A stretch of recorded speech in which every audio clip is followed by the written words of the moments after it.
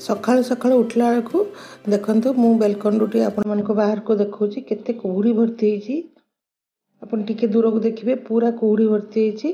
ଆଉ କେତେ ଶାନ୍ତ ଲାଗୁଛି ଜାଗାଟା। ମାନେ ସୋସାଇଟିଟା ପୁରା ଏକଦମ ଶାନ୍ତ ହେଇକି ରହିଛି ବହୁତ ବଢ଼ିଆ ଲାଗୁଛି ସୁଲସୁଲିଆ ପବନ ବହୁଛି। ଦେଖିବାକୁ ତ ବହୁତ ଭଲ ଲାଗୁଛି ସକାଳୁ ସକାଳୁ।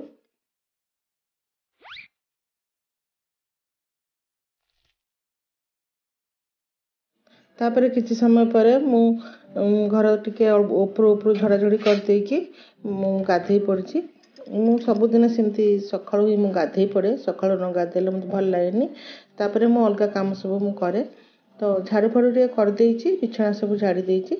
ତାପରେ ମୁଁ ଏଠି ତୁଳସୀ ଗଛରେ ପାଣି ଦେଇ ଦେଇକି ଟିକେ ଚା ପିଇବାକୁ ଯିବି। ସକାଳୁ ଟିକେ ଚା ଯଦି ନ ପିଇବି ମୋତେ ବିଲକୁଲ ଭଲ ଲାଗିବନି। ମାନ୍ଦା ମାନ୍ଦା ଖାଲି ଲାଗିବ। ତ ମୁଁ ତୁଳସୀ ଗଛରେ ପାଣି ସବୁ ଦେଇ ଦେଇକି ମୁଁ ଚା ପିଇବାକୁ ଯିବି।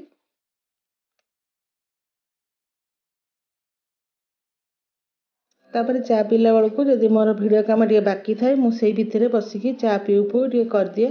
ତାପରେ ଯଦି ଅଙ୍କଲ ଥାଆନ୍ତି ଅଙ୍କଲଙ୍କ ସାଙ୍ଗରେ ବସିକି ଆମେ ଚା ପିଉ। ଦୁଇ ତିନି କପ୍ ଏମିତି ବି ପିଇଦେଉ କଥା ହେଇ ହେଇକି। ଆଉ ଯେତେବେଳେ ପିଲାମାନେ ସବୁ ଛୋଟ ଥିଲେ ସେତେବେଳେ ତ ପିଲାମାନଙ୍କ ସାଙ୍ଗରେ ଲାଗିବାକୁ ପଡ଼ୁଥିଲା। ପିଲାମାନେ ସକାଳୁ ଉଠିବେ କେମିତି ତାଙ୍କ ଡ୍ରେସ୍ ଆଇରନ୍ ହେବ ଜୋତା ପଲିସ୍ ହେବ ତା ଟିଫିନ୍ ନେଇକି ଯିବେ କ'ଣ ଖାଇବେ ଏଇସବୁ କାମରେ ସକାଳ ଦଶଟା ପର୍ଯ୍ୟନ୍ତ ପୁରା ବିଜି ଥାଏ। ତ ଏବେ ତ ପିଲାମାନେ ବଡ଼ ହେଇଗଲେଣି ବାହା ସାହା ହେଇଗଲେଣି ଆଉ ଦୁଇଟା ବି ଅଛନ୍ତି ମୋର। ଆଉ ଦୁଇ ଜଣ ବାହା ହେଇଛନ୍ତି ଆଉ ଦୁଇ ଜଣ ଝିଅ ବାହା ହେଇଛି ଆଉ ପୁଅ ବାହା ହେଇଛି ଆଉ ଆଉ ଦୁଇଟା ପୁଅ ମୋର ଅଛନ୍ତି। ଏମିତି ଭାବରେ ଦିନଟା କଟିଯାଏ। ତ ଚାଲନ୍ତୁ ଏବେ ଚା କରିବା ଚା ପିଇ ସାରିକି ମୁଁ ଅଲଗା କାମ ସବୁ ଆପଣ କରିବି। ନମସ୍କାର। ମମତା କିଚେନ୍ରୁ ଆପଣମାନଙ୍କୁ ବହୁତ ବହୁତ ସ୍ୱାଗତ କେମିତି ଅଛନ୍ତି ଆପଣମାନେ ସବୁ? ଆଶା କରୁଛି ଠାକୁରଙ୍କ ଦୟାରୁ ବହୁତ ଭଲରେ ଥିବେ। ଆଉ ଆଜି ତ ହେଉଛି ମକର ସଂକ୍ରାନ୍ତି। ଆଉ ତା ପାଇଁ ଆପଣମାନଙ୍କୁ ବହୁତ ବହୁତ ଶୁଭେଚ୍ଛା ଶୁଭକାମନା। ଆଉ ମକର ଚାଉଳ ବନେଇଛନ୍ତି କି ନାହିଁ ମୋତେ କହିବେ। ଆଉ ନିଶ୍ଚିତ ଭାବରେ ବନେଇଥିବେ ମକର ଚାଉଳ। ସମସ୍ତଙ୍କ ଘରେ ତ ମକର ଚାଉଳ ପୂଜା ହୁଏ। ଆଉ ମୋ ଚ୍ୟାନେଲରେ ବି ମକର ଚାଉଳର ରେସିପି ପକେଇଛି। ସେଥିପାଇଁ ଆଜି ମୁଁ ଆଉ ଆପଣମାନଙ୍କ ସାଙ୍ଗରେ ଦେଖେଇଲିନି ଆପଣମାନଙ୍କୁ। ତ ଆପଣ ମୋ ଚ୍ୟାନେଲରେ ମୁଁ କାଲି କମ୍ୟୁନିଟିରେ ପକେଇଛି। ଆପଣ ଯାଇକି ଦେଖିପାରିବେ। ଚାଲନ୍ତୁ। ଆଜି ମୁଁ ବହୁତ କାମ ମୋର। ମୁଁ ଭାବିଛି ଆଜି ଟିକେ ଟାଇମ୍ ମିଳିଛି। ସବୁଦିନ ବି ମୋତେ ଟାଇମ୍ ମିଳୁଛି। ତ ମୁଁ ଟିକେ ଘର ଦ୍ୱାରା ଟିକେ ବଢ଼ିଆ ହେଇକି ସଫାସୁତୁରା ଟିକେ କରିବି। ଘର ଦ୍ୱାରା ସେମିତି ସକାଳୁ ଟିକେ ଝଡ଼ାଝଡ଼ି ହେଇଯାଇଛି। କିନ୍ତୁ ଆଉ ଟିକେ ଭଲ କି ମୁଁ ଟିକେ ଝଡ଼ାଝଡ଼ି କରିବି। କାହିଁକିନା ଆମର ଯେଉଁ ମେଡ଼୍ ଆସିବେ ସିଏ ଆସିଲେ ତାପରେ ଭଲ କି ତାକୁ ପୋଛାପୋଛି କରିବେ। ତ ତା ଭିତରେ ଆଜି ମୋତେ ସିଝା ମଣ୍ଡା ଖାଇବାକୁ ବହୁତ ଇଚ୍ଛା ହେଲା। ଆକ୍ଚୁଆଲି ମୋର ଯେଉଁ ଅଲଗା ବ୍ରେକଫାଷ୍ଟ ଚ୍ୟାନେଲ୍ ଅଛି ମୁଁ ସେଥିରେ ସିଝା ମଣ୍ଡା ରେସିପି ପକେଇଛି। ସେଥିପାଇଁ ମୋତେ ସିଝା ମଣ୍ଡାଟା ଖାଇବାକୁ ଇଚ୍ଛା ହେଲା ସେଥିପାଇଁ ମୁଁ ସେଇଟା ତିଆରି କରିକି ମୁଁ ସେଇ ଚ୍ୟାନେଲ୍ରେ ପକେଇଛି। ସେଇ ସେଇ ସିଝା ମଣ୍ଡାଟା ମୁଁ ଆପଣମାନଙ୍କ ସାଙ୍ଗରେ ସେୟାର କରିବି। ଆଉ ମୋ ଚ୍ୟାନେଲ୍ରେ ବି ସିଝା ମଣ୍ଡା ରେସିପି ପଡ଼ିଛି କିନ୍ତୁ ଆଜି ମୁଁ କ୍ଷୀରରେ ଜନ୍ତିକି କରିବି।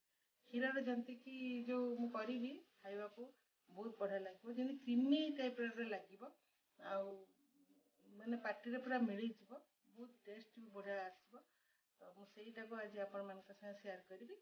ଆଉ ଘରେ ମୁଁ ଯାହା ବି କାମ କରିବି ସବୁ ମୁଁ ଆପଣମାନଙ୍କ ସାଙ୍ଗରେ ସେୟାର କରିବି। ଆଜି ତ ମକର ସଂକ୍ରାନ୍ତି ଆଜି ତ ପିଆଜ ରସୁଣ ଖାଇହେବନି ସେଥିପାଇଁ କିଛି ବିନା ପିଆଜ ରସୁଣରେ ମୁଁ କ'ଣ ବନେଇବି ଦେଖିବା ଚାଲନ୍ତୁ। ମୁଁ ଭାବିନି କ'ଣ ଆଜି ତିଆରି କରିବି। ତ ଯାହା ବି କରିବି ଟିକେ ଟିକେ ମୁଁ ଆପଣମାନଙ୍କ ସାଙ୍ଗେ ସେୟାର କରିବି। ତ ଚାଲନ୍ତୁ ଦେଖିବା। ତ ଆଜି ମୁଁ ଲଞ୍ଚରେ ପୁରୀ ଆଉ ଆଳୁ ଦମ୍ ଟିକେ କରିଦେବି। ଆଉ କିଛି ଆଜି ପାଗଟା ବି ମେଘୁଆ ଅଛି ସେଥିପାଇଁ ପୁରୀ ଆଳୁ ଦମ୍ ମୁଁ ଏଠି ତିଆରି କରିଦେବି। ଆଉ ପିଲାମାନେ ବି ଖାଇଦେବେ ଆଉ ମୁଁ ବି ଖାଇବି।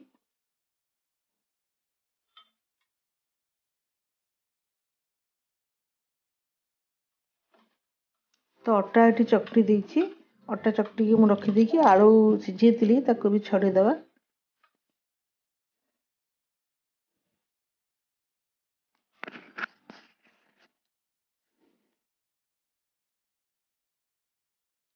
ଅଙ୍କଲ ଘରେ ରହିଲେ ଆମର ସେ ଟିକେ ଦେଶୀ ତରକାରୀ ସବୁ ଖାଇବାକୁ ଭଲ ପାଆନ୍ତି। ଯେମିତିକି ଗୋଟା ଭଜା ଶାଗ ଭଜା ଆଉ ଝୋଳ ତରକାରୀ ଭର୍ତ୍ତା ପୋଡ଼ା ଏଇସବୁ ଜିନିଷ ସେ ଖାଇବାକୁ ଭଲ ପାଆନ୍ତି। ଆଉ ମୋ ବୋହୂ ବି ସେମିତି ବି ଖାଇବାକୁ ଭଲ ପାଏ। କାହିଁକିନା ସେ ବେଶୀ ତେଲ ମସଲା କିମ୍ବା ଏ ପରଟା ଏସବୁ ଜିନିଷ ଖାଇବାକୁ ସେ ବିଲକୁଲ ବି ଭଲ ପାଏନି। ସିଏ ବି ସେମିତି ପୋଡ଼ା ଆଉ ପୋଡ଼ା ଜିନିଷ କିମ୍ବା ଅଳ୍ପ ତେଲରେ ଚକଟା ଫକଟା ଏଇସବୁ ଜିନିଷ ଖାଇବାକୁ ସେ ଭଲ ପାଏ। ତ ତେବେ ଚାଲନ୍ତୁ ଆମେ ଏଗୁଡ଼ା ସବୁ କରିଦେଇକି ମୁଁ ଅଲଗା କାମ ସବୁ କରିବି। ଆଗେ ମୁଁ ସିଲେଇ ବି କରୁଥିଲି ମାନେ ସିଲେଇ ଫିଲେଇ ଏସବୁରେ ମୋର ବହୁତ ଇଣ୍ଟରେଷ୍ଟ ଥିଲା। ମୁଁ ଏବେ ବି ମୋ ନିଜ ଜିନିଷ ମୁଁ ନିଜେ କରେ ମୁଁ ଟେଲର୍ ପାଖରେ ଦିଏନି। ତ ମୋ sari picot falls blouse dress ଏସବୁ ମୁଁ ନିଜେ କରେ। ତ ଏବେ ତ ମୁଁ ସେଗୁଡ଼ା ମୁଁ କରୁନି ମୋର ୟୁଟ୍ୟୁବ୍ କାମ ମୁଁ କରୁଛି। ମୋତେ ଏଇ କାମରେ ବହୁତ ଭଲ ଲାଗୁଛି କରିବା ପାଇଁ। ବହୁତ ଆନନ୍ଦ ବି ଲାଗୁଛି ଆଉ ଦିନେ ଯଦି ନ କରିବି ମାନେ ମୋତେ କେମିତି କେମିତି ପୁରା ଲାଗିବ ସେଥିପାଇଁ ମୁଁ ଏଇ କାମରେ ହିଁ ସବୁବେଳେ ବିଜି ଥାଏ। ଆଉ ୟୁଟ୍ୟୁବ୍ ଯେଉଁ କଲି ସେଇଟା ବି ମୁଁ ଆପଣମାନଙ୍କ ସାଙ୍ଗରେ କେମିତି କଲି କ'ଣ କଲି ସେଇଟା ବି ମୁଁ ଆପଣମାନଙ୍କ ସାଙ୍ଗରେ ଦିନେ କଥା ହେବି। ଆଉ ୟୁଟ୍ୟୁବ୍ କରିବାର କାରଣ ହେଉଛି ମୋର ମଝିଆ ପୁଅ। ତା ପାଇଁ ବୋଲି ମୁଁ ଆଜି ବହୁତ ବ୍ୟସ୍ତରେ ରହୁଛି ମୋତେ ଭଲ ଲାଗୁଛି। ନହେଲେ ତ ମାନେ ଏଇ ବୟସରେ ମଣିଷ ପୁରା ବୋର୍ ହେଇଯାଆନ୍ତି ମାନେ କିଛି କରିବାକୁ ନଥାଏ ତ ବୋର୍ ହେଇଯାଆନ୍ତି। ତ ଏବେ ମୋତେ ମୁଁ ବିଜି ରହୁଛି ଆଉ ମୋତେ ବହୁତ ଆନନ୍ଦ ବି ଲାଗୁଛି। ତ ସେ ବିଷୟରେ ମୁଁ ଆପଣମାନଙ୍କ ସାଙ୍ଗରେ ଦିନେ କଥା ହେବି। ଏବେ ଏଇଠି ମୁଁ ତରକାରୀଟା କରିଦେଉଛି। ମୁଁ ଏଠି ଆଳୁ ତରକାରୀ କରିଦେବି ଆଉ ପୁରୀ ଛାଣିଦେବି।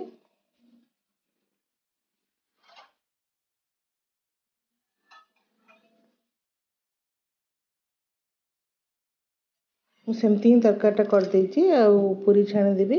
କିନ୍ତୁ ମୋର ସାନ ପୁଅ ଯିଏ ପୁନାରୁ ଯିଏ ଆସିଛି ସିଏ କହୁଛି ନାଇଁ ନାଇଁ ମୁଁ ତରକାରୀ ସବୁ ସେଗୁଡ଼ା କିଛି ଖାଇବିନି। ମୁଁ ଖାଲି ଚା ପୁରୀ ବୋଲି ଖାଇବି। ଆଉ ପାଗ ବି ଆଜି ସେମିତି ମେଘୁଆ ମେଘୁଆ ହେଇକି ରହିଛି।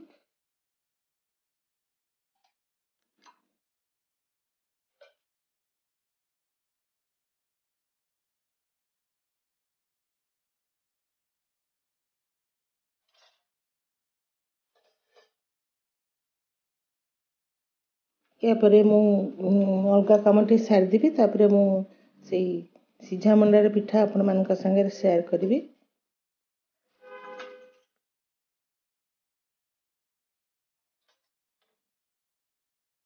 ଆଉ ମୋ ବୋହୁର ରୋଷେଇ ମୁଁ ଆପଣମାନଙ୍କ ସଙ୍ଗେ ନିଶ୍ଚିତ ଭାବରେ ଦିନେ ମୁଁ କରିକି ଦେଖେଇବି। ମୁଁ ତା'ର ଗୋଟେ ଲଞ୍ଚ ଥାଳି ତିଆରି ପ୍ରିପେୟାର କରିକି ମୁଁ ସେଇଟା ଆପଣମାନଙ୍କ ସାଙ୍ଗେ ସେୟାର କରିବି। ସିଏ କରିବ ଆଉ ମୁଁ ଆପଣମାନଙ୍କ ସାଙ୍ଗେ ସେୟାର କରିବି। ଏବେ ସେ ଟିକେ ତା କାମ ପାଇଁ ଟିକେ ବିଜି ଅଛି ସେଥିପାଇଁ ମୁଁ ଆପଣମାନଙ୍କୁ କିଛି ବି ଦେଖେଇ ପାରୁନି। ମାସେ ଛୁଟିରେ ରହିଯାଇଥିଲା ସେଥିପାଇଁ ଏବେ ଟିକେ କାମ ପ୍ରେସର ପଡ଼ିଯାଇଛି ତ ସେଥିପାଇଁ।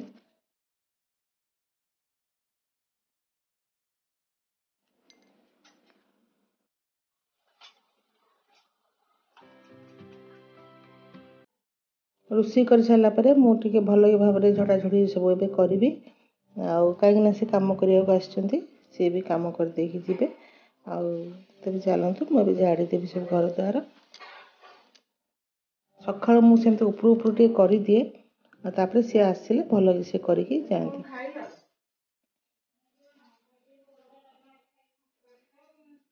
ମୁଁ ତାଙ୍କୁ କହୁଛି ଟିକେ ଏଗୁଡ଼ା ମୁଁ ଭଲକି ଝାଡ଼ିଦେବି ଆଉ ତୁମେ ଟିକେ ଭିତରୁ ଭିତରୁ ଭଲକି ଝାଡ଼ୁ କରିକି ନେଇ ଆସ ସେଗୁଡ଼ା ସବୁ ମୁଁ ଝାଡ଼ି ଦେଉଛି ଟିକେ। ଏଠି ବେଶୀ ଧୂଳି ହେଉନି ଆମେ ଯେଉଁଠି ଅଛୁ ତଥାପି ଟିକେ ଝାଡ଼ିବାକୁ ପଡ଼େ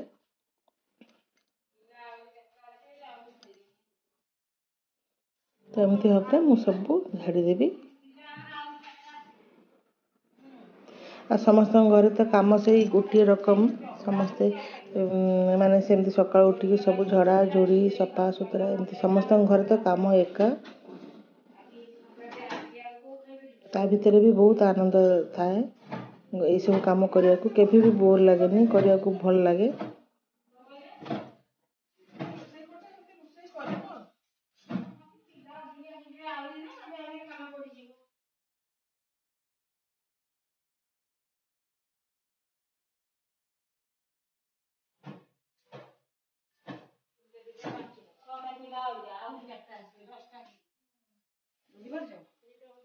ସେଇଗୁଡ଼ା ଦିନ ପଇସା ଦେଲେ ଆଉ ଗୋଟେ ପିଲାଟା ନେଇ ଆସିଲୁ କଟାକଟି କରିବାକୁ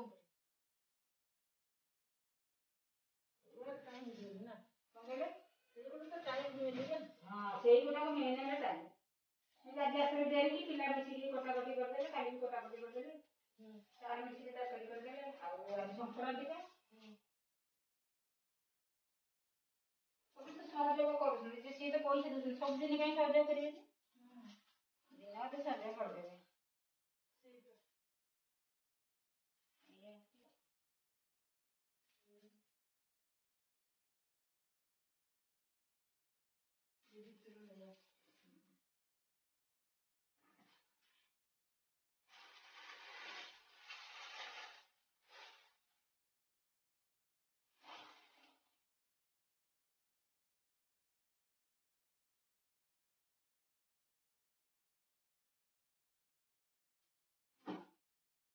ଶନିବାର ନ ଆସିପାରେ ମା କାହିଁକି ମୋ ମଉସା ଗୋଟା ବାଦି ଦେଇଛନ୍ତି ଯାଇକି ଦେଖି ଆସିବି।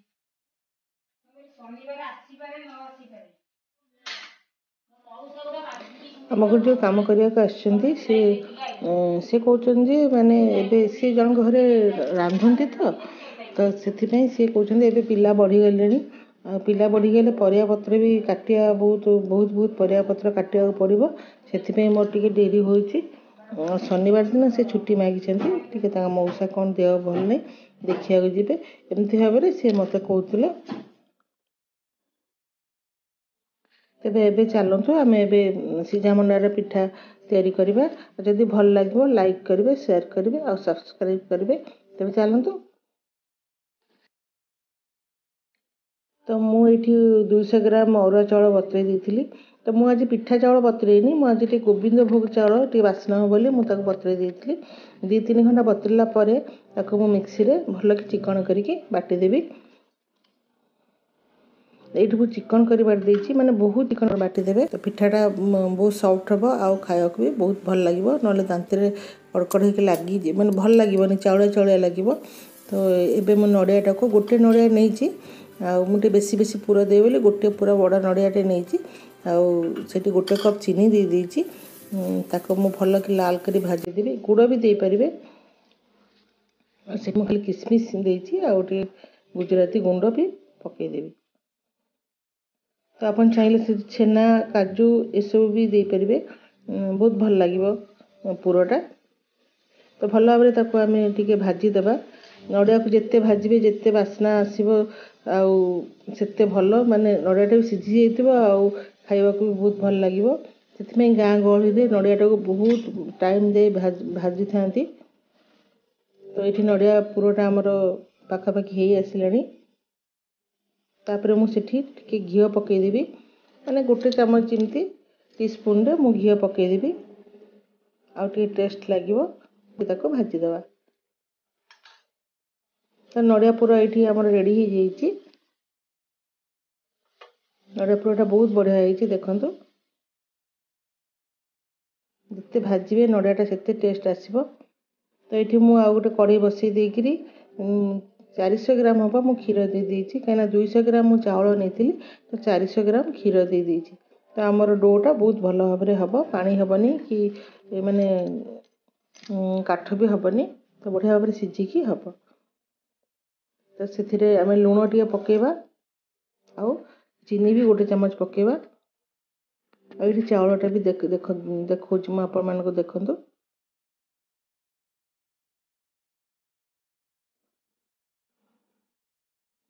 ଅଳ୍ପ ଟିକେ ସ୍ୱାଦ ଅନୁସାରେ ଟିକେ ଲୁଣ ପକାଇଦେବା।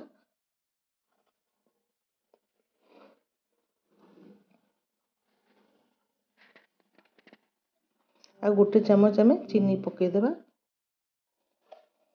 ଦୁଧରେ ଯେତେବେଳେ ଟିକେ ଫୁଟି ଆସିବ ଆମେ ସେଇ ଚାଉଳ ଚୁନାଟା ଯେଉଁ ପିଠଉଟା ଚାଉଳର ତାକୁ ଆମେ ପକାଇକି କଣ୍ଟିନ୍ୟୁଅସଲି ଚଲାଇବା।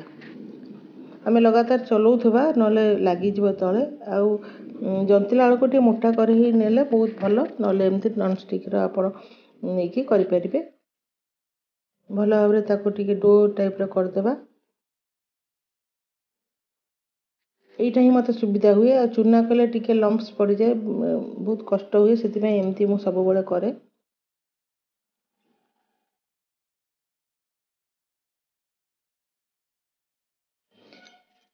ଏଇଠି ଡୋଟା ଆମର ରେଡ଼ି ହେଇଯାଇଛି ଆଉ କେତେ ସଫ୍ଟ ହେଇଛି ଦେଖନ୍ତୁ ବହୁତ ବଢ଼ିଆ ହେଇଛି।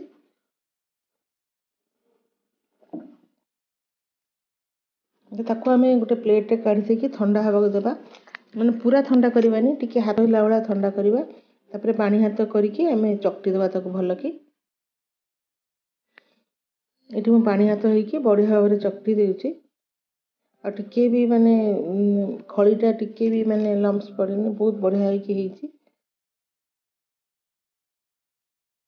ନହେଲେ ସେମିତି ଚୁନା କରିକି ଟିକେ ଟିକେ ଟିକେ ପକେଇଲେ ଯେତେ ଯାହା କଲେ ବି ଟିକେ ଗୋଟାଳିଆ ରକମ ହେଇଯାଏ। ସେଥିପାଇଁ ମୁଁ ଏମିତି ହିଁ ସବୁବେଳେ କରେ। ଏବେ ପିଠା ଗୁଡ଼ା ମୁଁ ସବୁ କରିଦେବି। ଦେଖନ୍ତୁ ମୁଁ ଏଠି ଗୋଟେ ଗିନା ରକମ କରିକି ତାପରେ ସେଥିରେ ପୁର ଭର୍ତ୍ତି କରିଦେବି। ପୁର ଭର୍ତ୍ତି କରିକି ଏମିତି ଭାବରେ କରିକି ଆମେ ବନ୍ଦ କରିଦେବା। ଏମିତି ଭାବରେ ମୁଁ ସବୁ ପିଠା ଗୁଡ଼ା ତିଆରି କରିଦେଇଛି।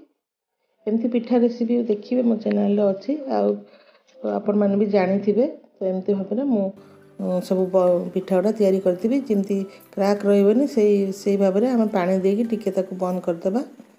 ଏମିତି କରିକି ମୁଁ ସବୁ ପିଠାଟା ଗଢ଼ି ଦେଇଛି।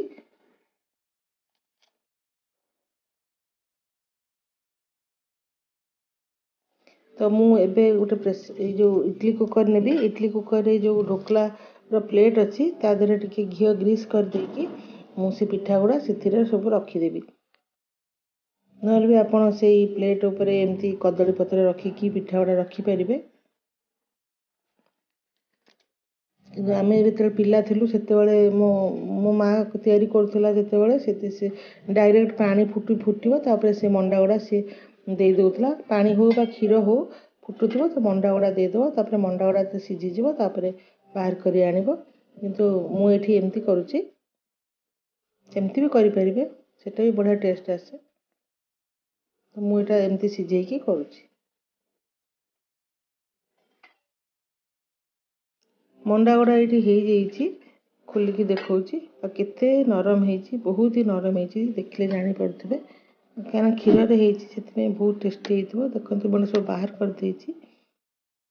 ଆଶା କରୁଛି ଆପଣମାନଙ୍କୁ ଏଇ ରେସିପି ଭଲ ଲାଗିବ। ଯଦି ଭଲ ଲାଗିବ ଲାଇକ୍ କରିବେ ସେୟାର କରିବେ। ଆମ ଚ୍ୟାନେଲକୁ ସବସ୍କ୍ରାଇବ୍ କରିବେ। ତାହେଲେ ମୁଁ ରହୁଛି। ନମସ୍କାର।